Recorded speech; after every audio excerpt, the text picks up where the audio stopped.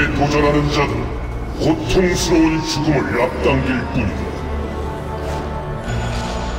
자비우스의 그림자께서 말씀하시는군. 바라지, 꼼짝하지 마라.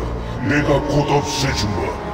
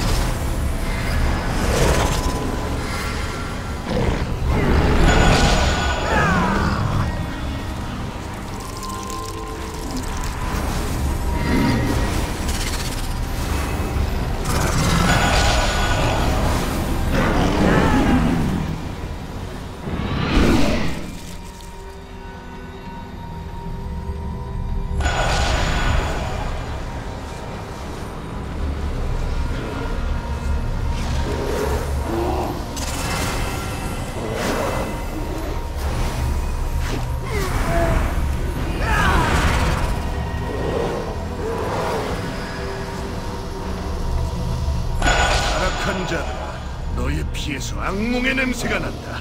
이 숲에서 꺼지지 않으면 자연의 분노를 맛보게 되리라. 타락한 자들이여, 이 숲을 악몽으로 더럽힌 것이 너희로구나. 너희 중에 강력한 드루이드가 있구나. 내게 도전하는 게냐?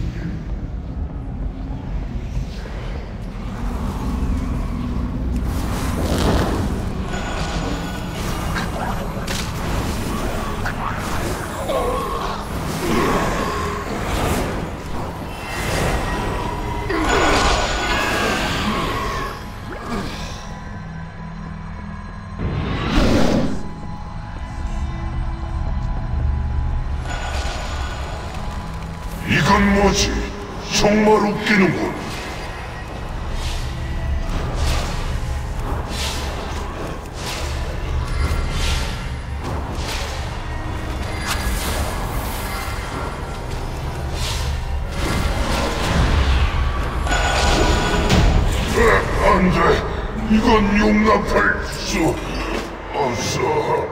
값진 승리로군.